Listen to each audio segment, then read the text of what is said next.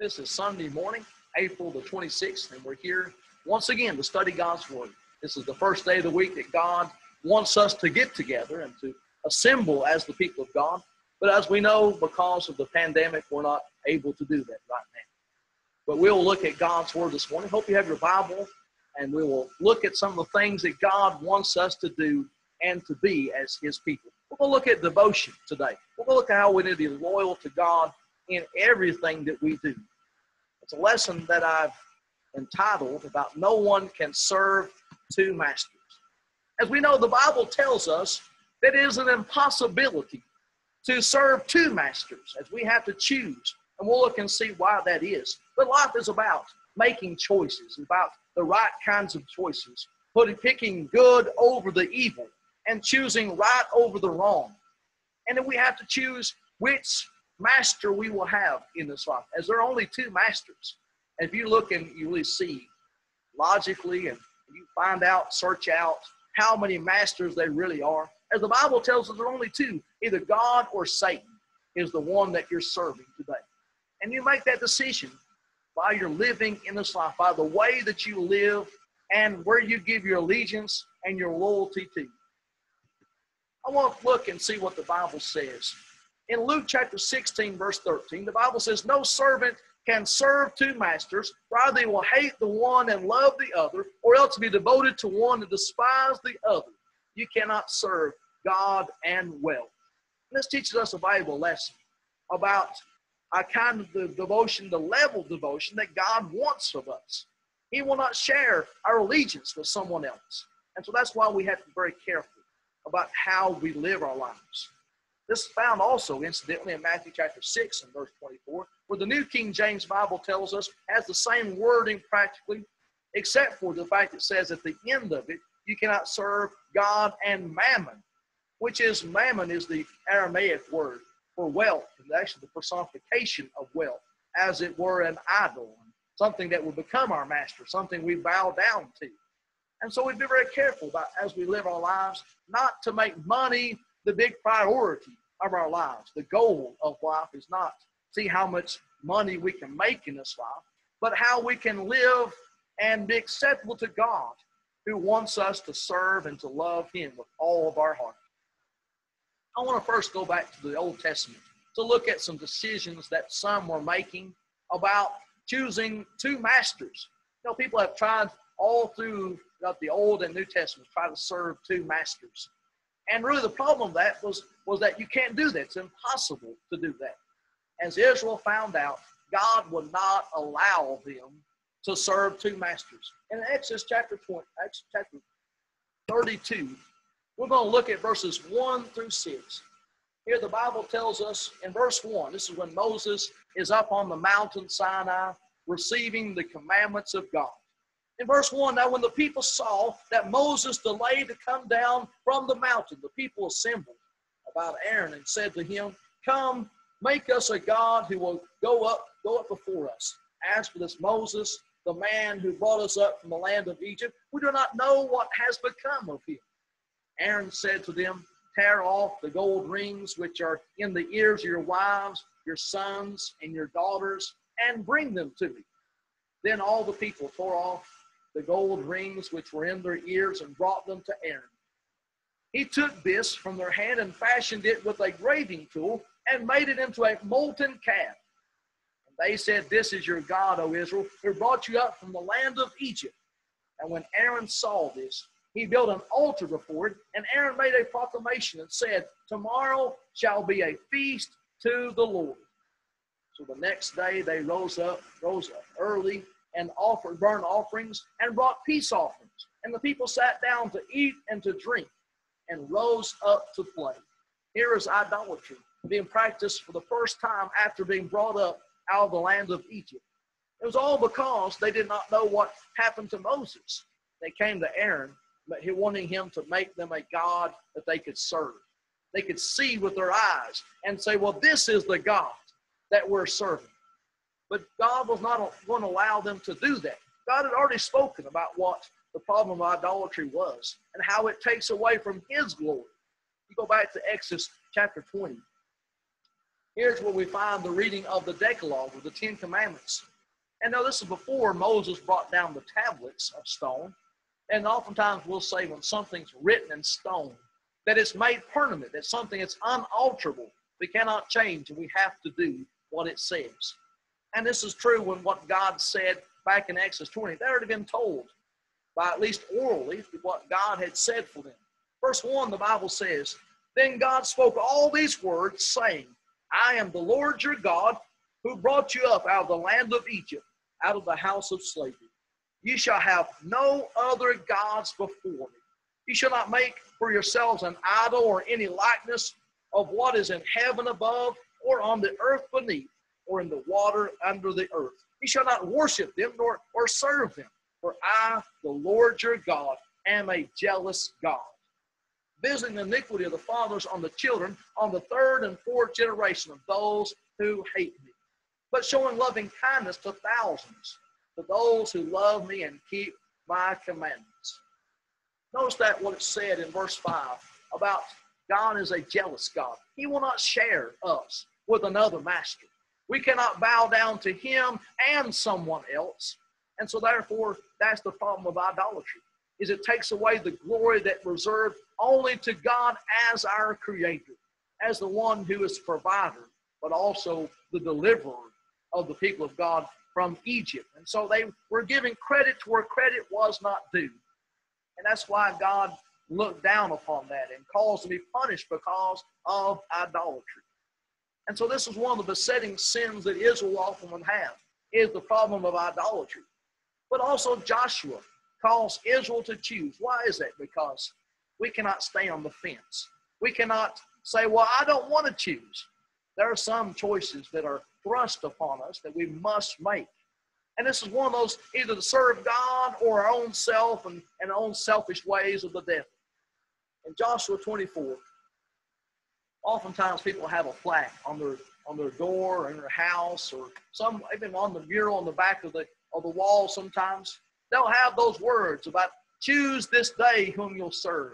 As for me and my house, we will serve the Lord. I know of several who does have those. And yet, what does that mean? It is a reminder of that we need to serve God and to serve Him alone. That it's a choice we make. God again gives us free will to make this choice. I want to read beginning with verse 14. Here the Bible says, Now therefore fear the Lord and serve him in sincerity and truth and put away the gods which your fathers served beyond the river and in Egypt, and serve the Lord. God's calling them to put away anything that would they would bow down to, these gods, these false gods. And verse 15, if it is disagreeable in your sight and to serve the Lord, choose for yourselves today whom you will serve, whether the gods which your fathers served, which were beyond the river, or the gods of the Amorites, in whose land you are living. But as for me and my house, we will serve the Lord. We all need to make that commitment, don't we? And that's what this lesson's about. It's about commitment and loyalty and sticking to the one who is our true master, God and Jehovah and the Lord Jesus Christ. Verse 16 says, here's the reaction of the people. Verse 16. The people answering said, Far be it from us that we should forsake the Lord to serve other gods. For the Lord our God is He who brought us uh, brought us and our fathers up out of the land of Egypt from the house of bondage, and who did these great things, these great signs in our sight, and preserved us through all the way in which we went and among all the peoples through whose midst we passed.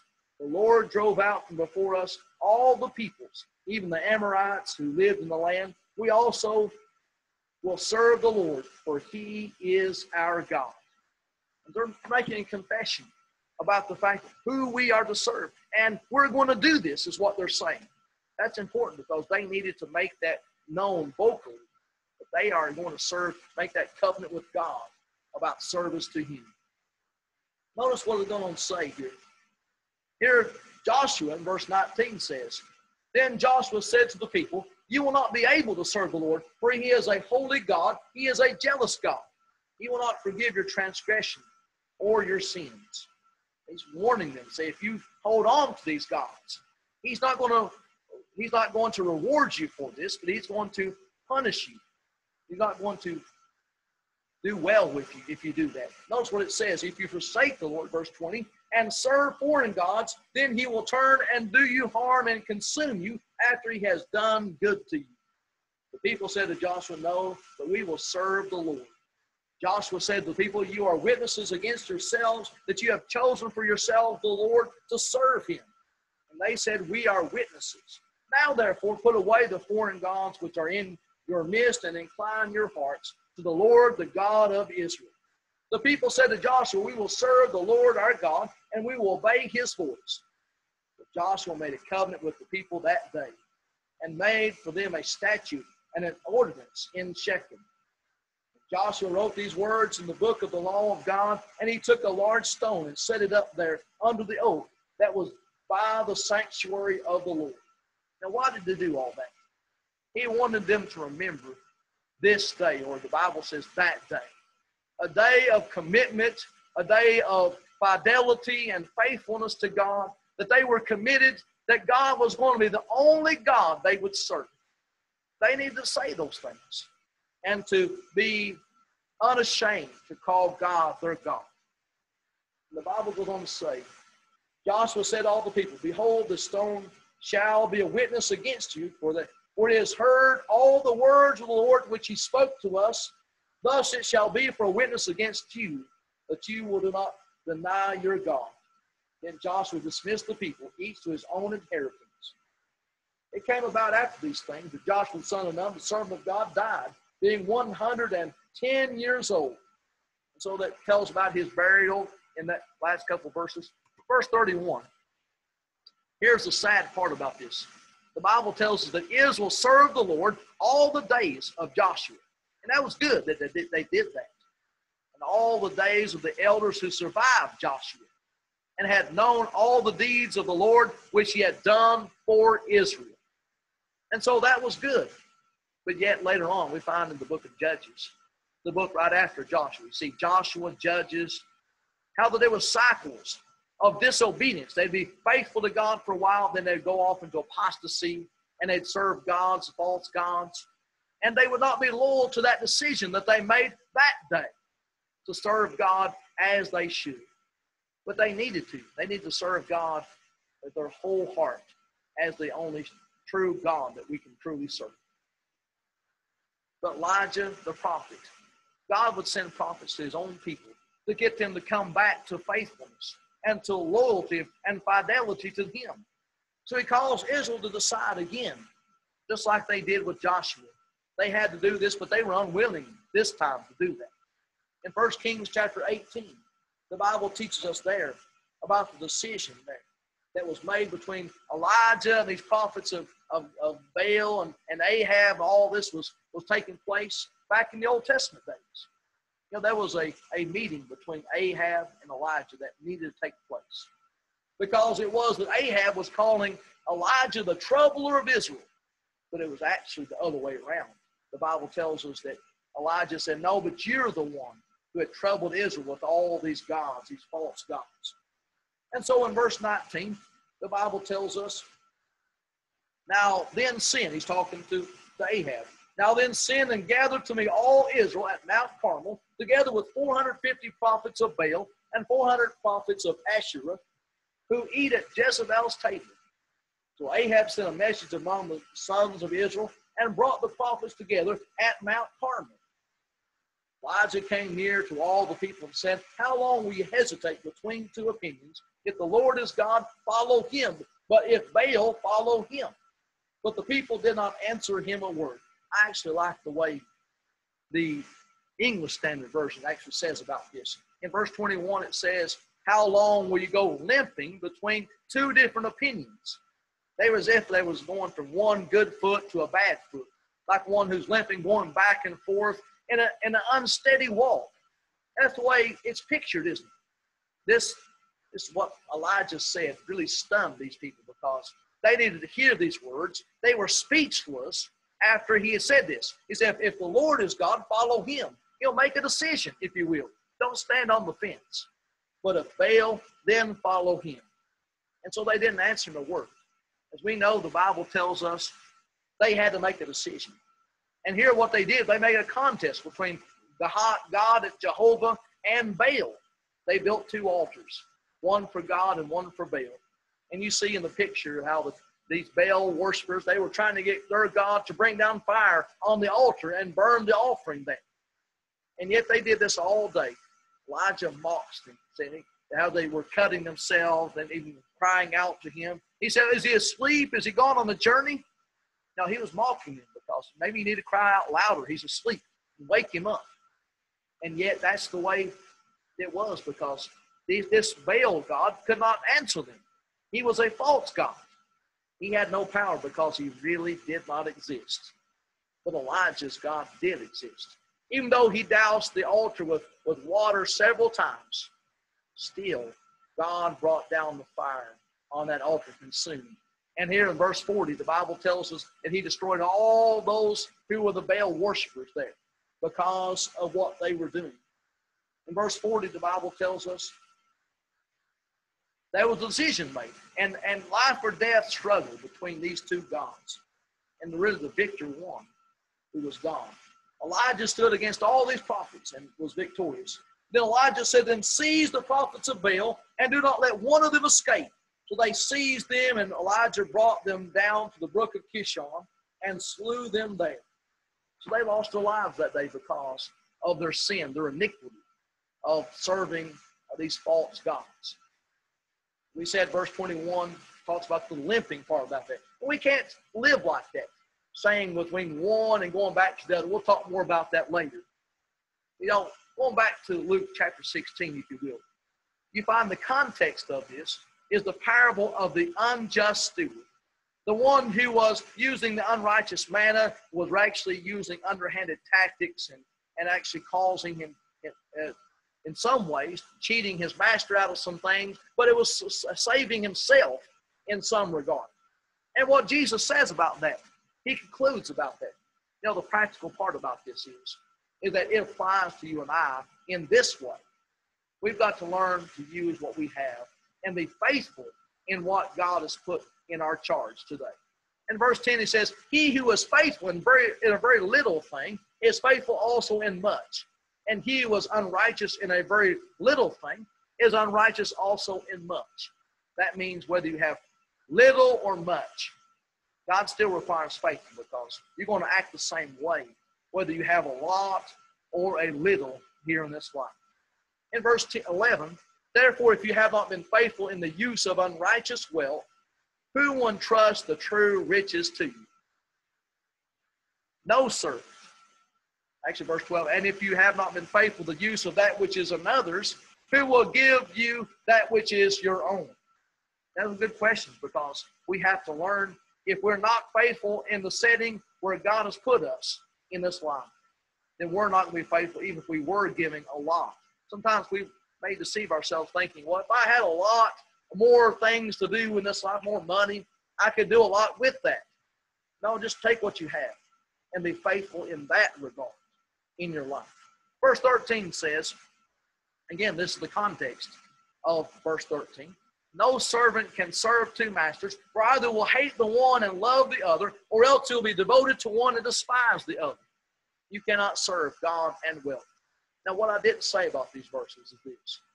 Whenever we try to, to love one master above another, you know, if you love one master, you're devoted to him, and it, it neglects the other one, doesn't it? And every time that we are more faith, more loyal to, to Satan and his ways, or to mammon, money, the world, and riches, God is neglected, and He will not settle for second place. God wants us to make Him our priority, and that really shows us the level of commitment that a child of God must have.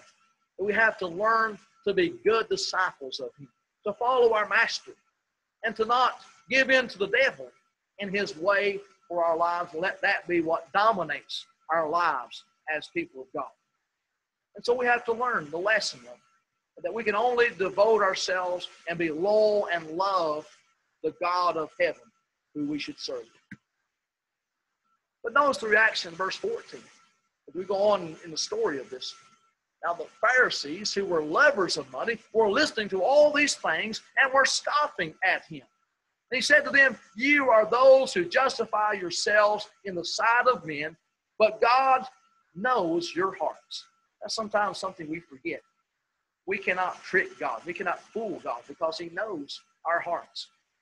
And notice what it says For that which is highly esteemed among men is detestable in the sight of God. You know, the love of money is detestable in the sight of God. That's why we have to be very careful as we are providing for our families that we don't go too far with that and to say, well, this is my focus, that I'm here to make money and, and, and to be obsessed and to be consumed about making money. Because if we do that, then we can miss the goal of heaven as far as our service to God. The question comes, though can money be our master? Can it be something we bow down to? That idea of mammon, the personification of money and wealth itself, could that be something we are more interested in than God? Well, if we are to willing to sacrifice services, if we're willing to not come to services, maybe on Sunday or maybe Wednesday night, say, well, you know, I, I can't go to Bible study because I'm out pursuing this money that I have to have. If that's the case, then we are making money our God. If we are making that in that way be our master. In 1 Timothy chapter 6, verses 9 to 11, I want to read what the Bible says about our service to God and, and how some have strayed because of the love of money. You know, that's where the Bible speaks about the love of money that causes a lot of people to go the wrong direction and not serve God like they should. 1 Timothy chapter 6, the Bible speaks about the issue.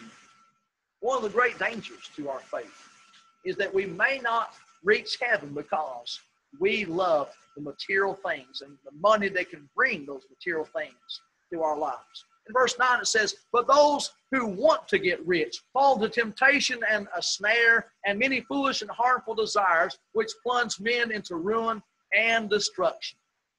He's telling us this is a fact. Money has destroyed a lot of lives because of the love of it.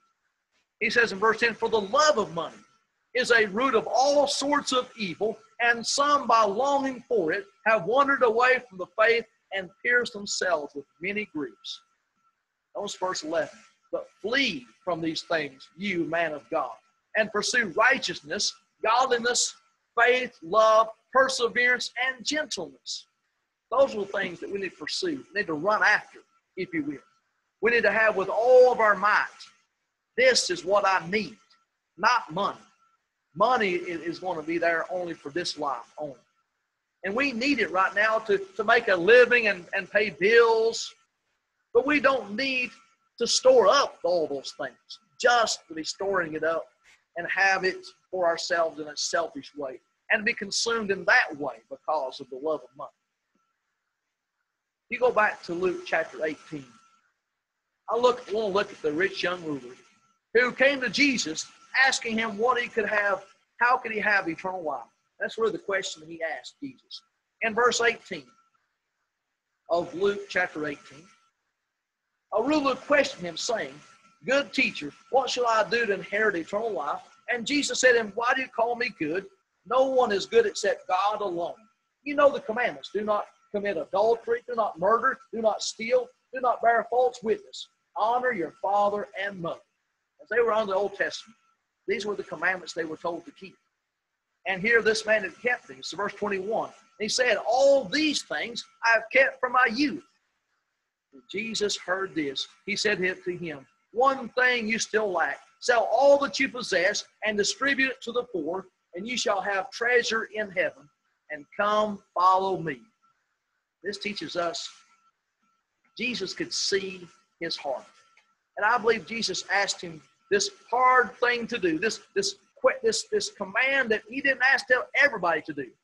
Some might say, well, why did he ask him to sell everything he had? He doesn't ask me or you and I, all of us today, to do that. But he knew he could pierce through the heart and know there was something holding this man back. He said, This thing you still lack. To go and sell all you have. Because evidently, what we're not told is this, this is the problem he had with receiving eternal life. This became his idol to him. And it was his master. It was his means of power, this rich young ruler, as we call him. Because Jesus goes on to say, after this, actually, the Bible tells verse 23 but when he heard these things, he became very sad, for he was extremely rich. That's why he didn't want to give those up. He saw Jesus ask too much of him to give up all his riches. Notice what Jesus says after that. And Jesus looked at him and said, How hard is it for those who are wealthy to enter the kingdom of God? For it's easier for a camel to go through the eye of a needle than for a rich man to enter the kingdom of God. So this was something that only those who trust in riches needed to hear. And Jesus said it's hard if you if you're hanging on to it, if you don't are, are not willing to give it up and surrender all for the kingdom of God's sake, then that's the problem. That they become an idol of your money. Money may be your master when it comes to that. But can our own self be our own master? As we think about what people do in the world today, they want to live life their way, not God's way. We want to have money to burn. We want to have all the things of life has to offer. But Jesus said we can't do that. That's why he requires those who would follow him to deny self. Notice what Luke 9, verse 23 tells us. And he was saying to them all, If anyone wishes to come after me, he must deny himself and take up his cross daily and follow me. Whoever wishes to save his life will lose it. But whoever loses his life for my sake, he is the one who will save it. That's one of the great paradoxes in verse 24. To save your life, you have to lose it. You have to be willing to give up what whatever it might be that's holding you back. You know, self can get in the way of your service to God and your devotion to God that it needs to be. There to me, the, uh, like again, a, a high level of devotion that, that self, my own self, can get in the way of that. If I want something and God says do something else besides that, what if I decide to go with self and stay with what God says don't do? That's the problem. There's where the rub is. There's where the, the, the conflict of interest, as we'd often will say. We have to come to God and surrender self. We have to say, not my will, but yours be done. If we want to save our life, we have to give it up in order to please God and to have that level of devotion to Him. Notice verse 25 says, What is a man profited if he gains the whole world and loses or forfeits his soul? Even if you could gain the whole world, would it really profit you to do so if you lose your own soul, your own self in the process of that? We have to learn. God wants us to have Him for our His master, our master alone, and to serve Him in that way without serving self. I tell you, a lot of people today, that's why they don't come to Jesus. It's because they do not want to give up their selfish ways. I want to tell you, that keeps a lot of people from doing what's right. I want to read a poem by a man that you might describe as in this way. Ernest Hemingway wrote a long time ago in the poem Invictus. It says, Out of the night that covers me, black as the pit from pole to pole, I thank whatever gods may be for my unconquerable soul. In the fell clutch of circumstance, I have not winced nor cried aloud under the bludgeonings of chance.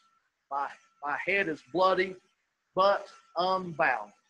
Beyond this place of wrath and tears looms but the horror of the shade, and yet the menace of the years finds and shall find me unafraid. It matters not how straight the gate, how charged with punishments the scroll. I am the master of my fate. I am the captain of my soul. And these words describe how a lot of people feel. They're unwilling to give up any kind of inconvenience, any kind of service, no matter how the punishments that scroll says. And I believe there's allusion there to what the Bible says. If we don't serve God, if we remain as captain and commander of our soul, that we lose everything in the last day because of our unwillingness to commit all of self to the Lord Jesus Christ. But the question also comes can sin be our master? As one of the things the Bible tells us that sin can control us. And what someone once said, that sin takes us farther than we ever thought possible, that it keeps us longer than we're willing to stay, and that it, it consumes us. And it really destroys our lives in the processes of that. And it deceives us. Many people are deceived because of their sins. But you know why people commit sin? It's because of the pleasures that sin brings. In Hebrews chapter 11, verses 24 and 25, we see the decision that Moses made. He didn't stay on the fence. He made a decision, choosing rather to suffer the affliction of the people of God. He refused to be called the son of Pharaoh's daughter, verse 24 tells us, that he could choose to be one of the Hebrews.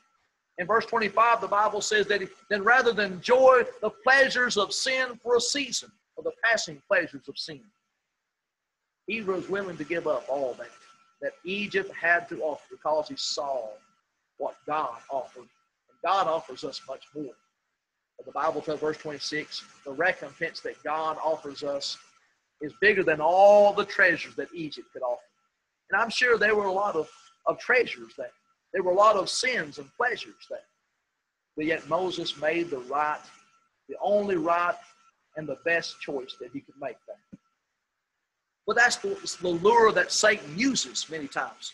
Because he wants people to stay in his camp, he'll offer them that you have more fun if you stay with me. You'll have all this pleasure. You'll be able to sow your wild oats. You'll live as a, a fornicator, a gambler, a drug dealer. You'll do, get to do all this.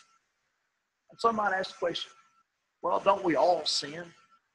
But does sin dominate our life? Is sin truly our master if you're a child of God? Who repents of, the sin, and you're doing the best that you can to stay out of the sinning business. I want to tell you there's a difference. There's a big difference between those who are given over to sin and those who are given over to the lives of the Lord Jesus Christ. Sin is not a regular house guest.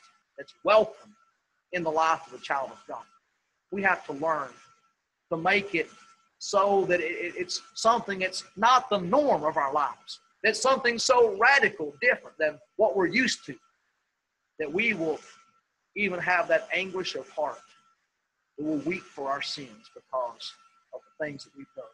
I want to look at those who you might say will give their lives, what the master, how that they're captive because of their sins. In Ephesians chapter 4, verse 18, the Bible tells us, being darkened, talking about some who walk as the Gentiles walk, being darkened in their understanding, excluded from the life of God because of the ignorance that is in them, because of the hardness of their heart. And they, having become callous, have given themselves over to sensuality for the practice of every kind of impurity with greediness. I've met people, I've actually even seen people who do this and actually been that myself, where we will give ourselves over to something. You know, that's something that we have to learn to change. Notice the next verse. Well, the Bible says, But you did not learn Christ in this way. Christ doesn't teach us to be that He teaches us to be the opposite. That's why sin cannot be our master and to be pleasing to Christ and pleasing to God in that process. Verse 20, verse 21 says, If indeed you have heard him, have been taught in him, just as truth, as truth is in Jesus.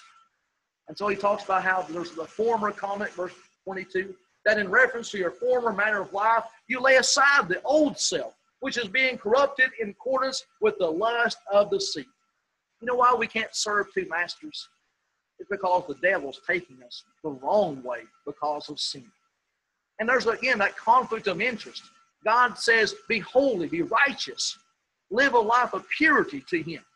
The devil says, Have things your way, you live in lust and sin and degradation, and you may live the pleasurable life in sin, but there's a cost. God says there's a punishment on the way for those who give themselves over to a life of sin. But then the Bible tells us that this is something we do because we put on the new self. We, we change, don't we? We're renewed in the Spirit, verse 23 tells us. Put on the new self, which in the likeness of God, has been created in righteousness and holiness of the truth. Therefore, laying aside falsehood, speak truth, each one with his neighbor. We are members of one another. Talk about all these things that are sinful. Verse 25 onward. What that new life looks like, where you don't do the things that you formerly did that God calls sin. Yet sin can be our master if we let it be our master. But we have chosen not to let that be our master. That's why we must count the cost. Luke chapter 14, 27 to 33, he talks about a man who comes to Jesus, they must count the cost, whether like a man who builds a tower, whether he has enough to finish it. If he starts it and he doesn't finish it, then all those around him will laugh at him because of that. You ever start something that you were not able to finish because you maybe thought, "Would I have enough stuff to do this with this?" What the Bible is really saying is, are you really willing to give up sin? Are you willing to make the sacrifices that are necessary to live a life of, of godliness? Because there are sacrifices. It's not the easy life that the world paints the life of a child of God is all roses. But there's a life of, of choosing, like Moses, choosing to suffer the people of God and giving up the pleasures of sin for a season. You have to be willing to do that to be pleasing to God. In Romans chapter 6, I want to read what Paul says to the Romans about their life and how we can't have our, our cake and eat it too, as the old saying goes. In verse 1, Paul says, What should we say then? Are we to continue in sin that so grace may increase? May it never be. How shall we who died to sin still live in it? Or you do not know that all of us who have been baptized into Christ Jesus have been baptized into his death. Therefore, we've been buried with him through baptism into death, so that as Christ was raised from the dead through the glory of the Father, so we too might walk in newness of life. It's really saying to these people, you have to make a choice. The grace of God is not going to stay on someone who wants to have the Lord and his sins. Because God says that you can't serve two masters. We'll see why that is in just a moment. In verse 5 says, For if you have been become united with him in the likeness of his death, certainly we shall be also in the likeness of his resurrection. Knowing this, that our old self was crucified with him, in order that our body of sin might be done away with, that we would no longer be slaves to sin. For he who has died is freed from sin. And that's good news, isn't it? That's the good news of the gospel. That what we do in obedience to the gospel frees us from our sins, our past sins. But we can't go right back to our sins the way we did before. We have to stay as best as possible out of those sins. And that's why the Bible tells us in verse 16 to 18. He says, Do you not know that when you present yourselves to someone as slaves or servants, if you will, for obedience, you are slaves of the one whom you obey, either of sin resulting in death or of obedience resulting in righteousness. That's where the two masters come in into play here. We've got to choose, don't we? Do I want to live a life of holiness and righteousness? Or do I present myself as a slave to sin and resulting in death? But Paul says about the Romans, but thanks be to God that though you were the slaves of sin, you became obedient from the heart to that form of teaching to which you were committed, and having been freed from sin, you became slaves of righteousness. That's what we have to do. We have to say bye to that old self and say goodbye and bury put into death, in other words, that we can be pleasing to God.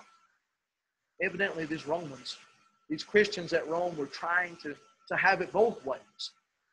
God says you cannot do that. You can't serve two masters in this way. And the last point of the lesson is this Can the world be our master?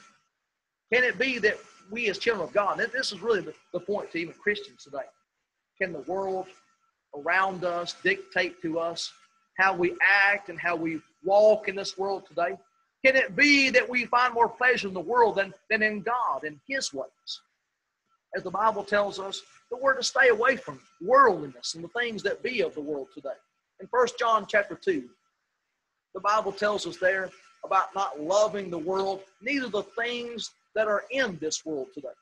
1 John chapter 2, begin with verse 15. I want to read this passage. It says, Do not love the world nor the things in the world. If anyone loves the world, the love of the Father is not in him. For all is in the world, the lust of the flesh, lust of the eyes, and the boastful pride of life is not from the Father, but is from the world. We call these the avenues of sin lust of the eyes, the boastful pride of life, lust of the flesh. All three of those consist of, of what worldliness is. Do we love the world? Can it be that maybe we're not all the way in the world, but maybe we are, or maybe some ways, a part of this world? Maybe we can compartmentalize our lives. Maybe we segment and fragment our lives as a child of God and say, you know, I'm a child of God on Sunday and Wednesday, but the other days of the week, maybe I'm I'm in the world, and I, I don't study my Bible. I don't read what the Scriptures say, and I also I don't have the same conduct. That what we put on our clothes for Sunday, we put on our Sunday best, and we take it off. We are back in the world, and that's what the, the warning is: not to do that. Don't love the world. Don't be a part of this world because the one who does the will of God, verse 17, that's the one who's going to abide forever.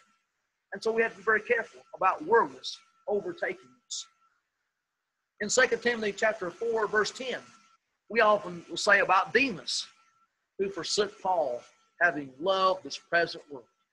You know, even children of God can fall from their steadfastness. They can uh, learn to not be a faithful child of God. They may start out faithful and after a while get comfortable in the world and realize, well, maybe this is where I want to be for the rest of my life.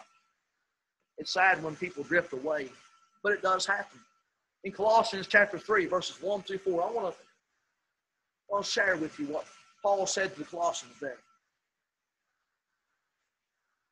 Paul is talking to the Colossians about our life and how our life needs to be in God and in the Lord Jesus Christ. He says in verse 1 Therefore, if you have been raised up with Christ, Keep seeking the things above where Christ is, seated at the right hand of God. Set your mind on the things above, not on the things that are on the earth. For you have died, and your life is hidden with Christ in God. When Christ, who is our life, is revealed, then you will also be revealed with him in glory. Therefore, consider the members of your earthly body dead to immorality. I read verse 5, but it goes along with our passage, doesn't it? Because how do we set our mind on things above? It's when we become spiritually minded. It's when we are, are saying, well, church is what I love, and, and serving God is the thing that I love the most, more than anything else this world has. Because the devil tries to get us to lure us back into his camp, if you will.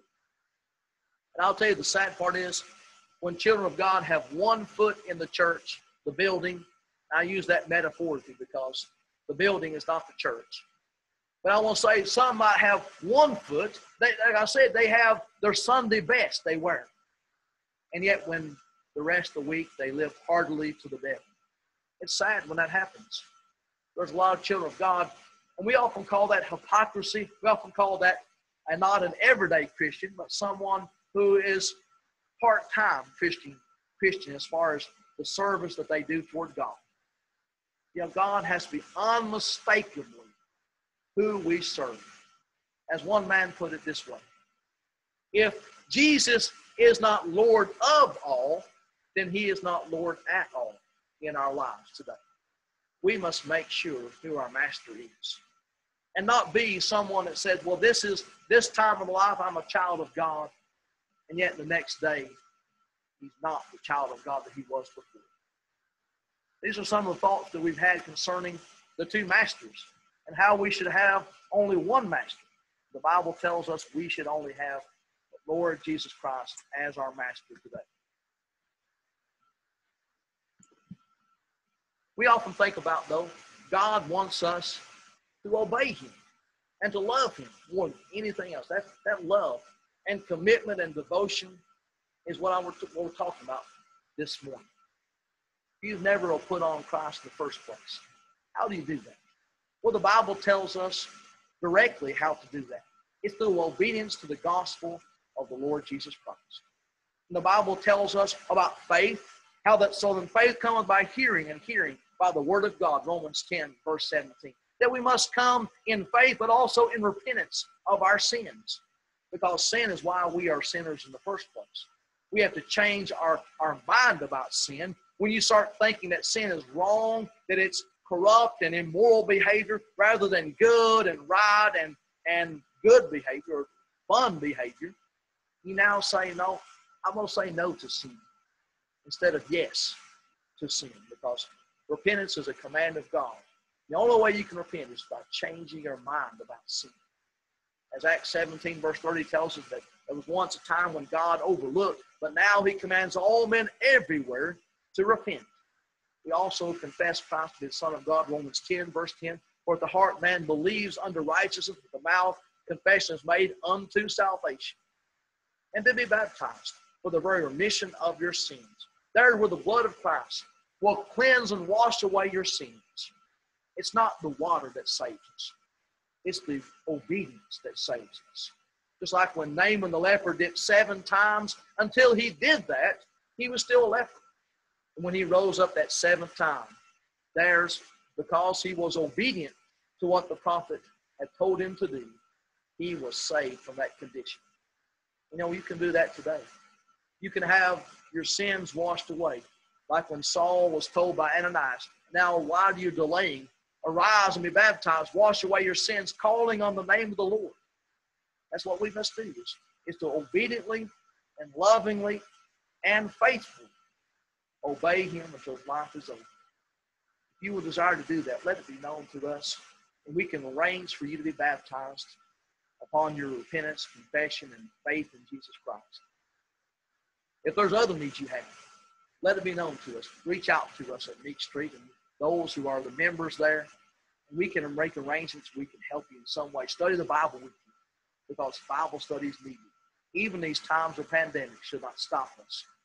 Studying the scriptures together and, and knowing God's will so that we can be saved. Thank you very much for your kind attention lesson of the hour. We will now conclude.